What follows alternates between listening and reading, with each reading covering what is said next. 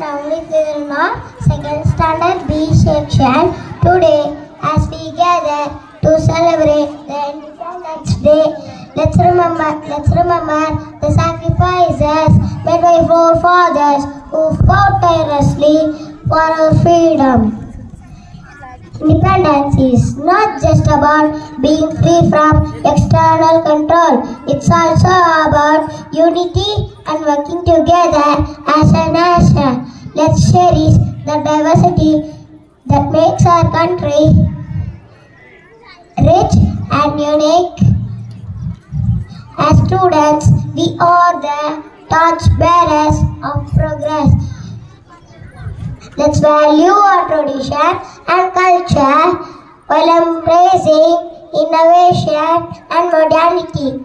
Dream big, work hard, strive for excellence. Jai Hind. Thank you. Thank you, Navneet, Navneet, for your inspiring speech. Now